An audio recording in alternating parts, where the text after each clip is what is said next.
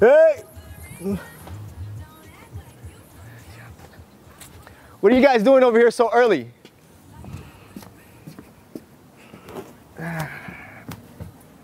Let's go on over this way.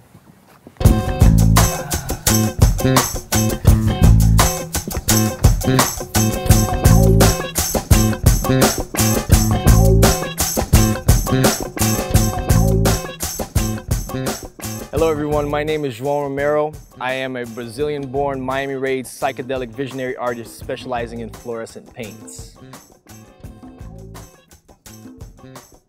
My artistic name is Ocean Man. As a child, under two years old, I was in the ocean. I was lived all my life by the oceans, but that's one of the reasons why I go by Ocean Man. The other reason would be that everything around us is interconnected and it's always flowing. Nothing is static.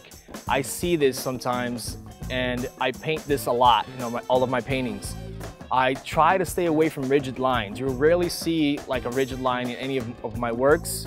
And um, that's one of the, that's the second reason. There's many other reasons which you can, you will soon find out.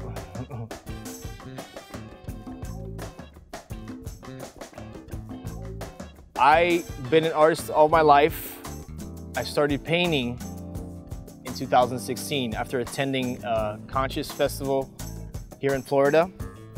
Got so inspired by that that just kind of boosted me into this color color range. Never touched color until after 2016. I'm inspired by the, my greatest inspiration is the outdoor world. We're out here outside.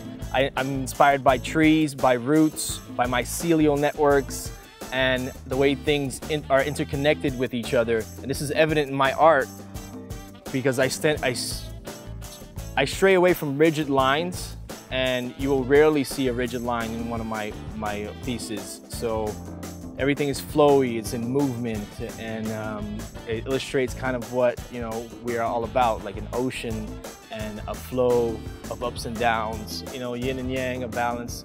So that's what inspires me is just being outside and obviously the um, festival community, the arts and festival community has been a big inspiration on me. It was the inception of my painting career too, so